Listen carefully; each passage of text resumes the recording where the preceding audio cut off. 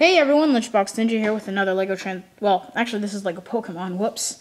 This is Lego Pokemon Wave 1.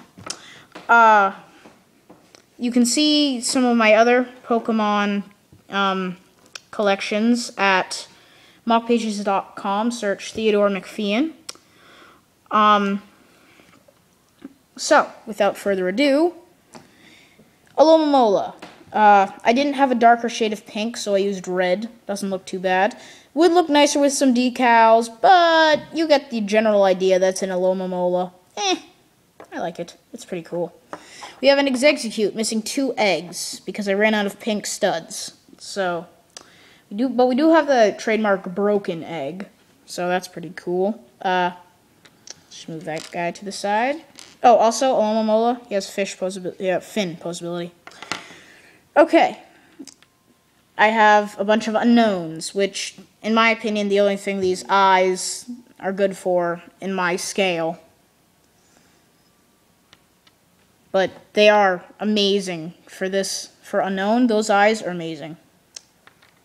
So, yeah, we've got some Unown here. Let's just move that guy to the side. And we have Litwick and Chandelure. I have no idea what the middle evolution is, so I just built these these two guys. Uh, very. I, I'd have to say. I I have to say these guys are pretty accurate. I think they're pretty cool. Uh, yeah. We have Gastly. This is my second Gastly. The first had a really awesome like smoke, but it was it was red and burgundy, and that wasn't accurate. So when I got some new pieces, I rebuilt this guy. So it has it's a lot more accurate now. It's not as spherical in the front, but I can live with that.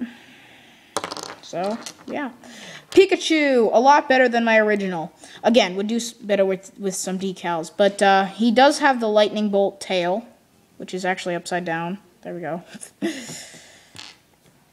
um, the two ears, and it would need a face, de- face decal to, you know, absolutely be awesome, but meh.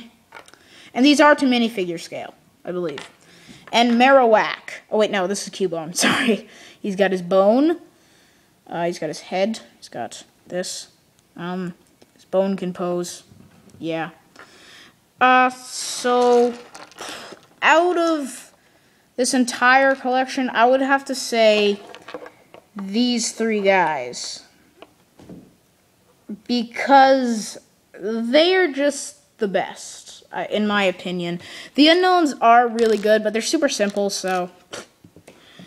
So these three guys are, I guess, the gemstones, the, the centerpiece of this wave of Pokemon. So yeah, that was Lunchbox Ninja. Hope you enjoyed. I certainly did. Please like and subscribe. Ha ha ha, credits. credits.